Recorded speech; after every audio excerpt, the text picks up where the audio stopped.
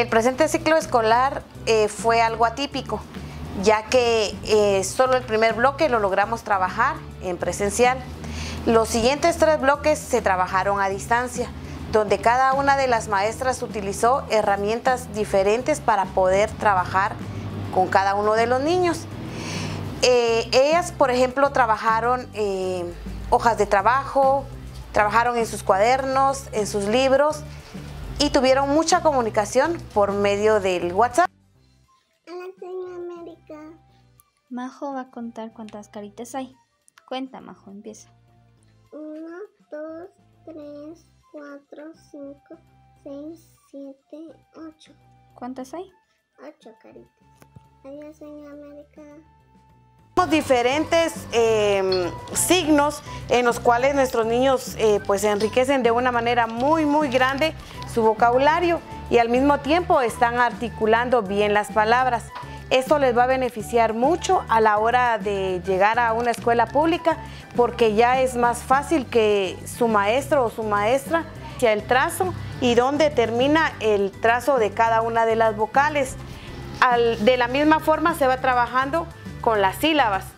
Ya eh, a final de año los niños ya eh, leen y escriben con tres o cuatro sílabas, dependiendo eh, cómo haya sido el apoyo que también ellos hayan recibido en casa.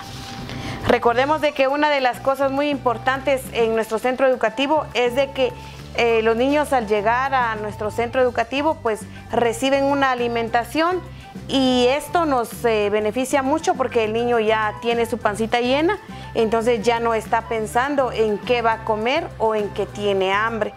Y con eso vamos a lograr un mejor rendimiento educativo y también estamos combatiendo la desnutrición. Recordemos que a las 10 de la mañana también se les brinda un vaso de atol, la vitamina y una porción de fruta.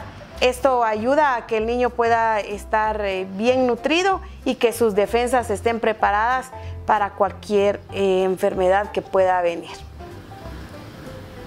Para los niños este año fue bastante importante eh, la educación porque ellos se divertían en hacer las tareas, tener comunicación a través del WhatsApp, así también mandaban sus videos, mandaban las tareas y ellos contaban cómo lo realizaban.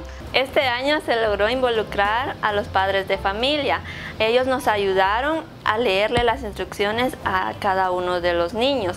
También fueron de ayuda eh, para realizar las tareas con ellos y también nos se logró trabajar em, con lo que es eh, las clases virtuales, ya que ellos no cuentan con los recursos eh, necesarios.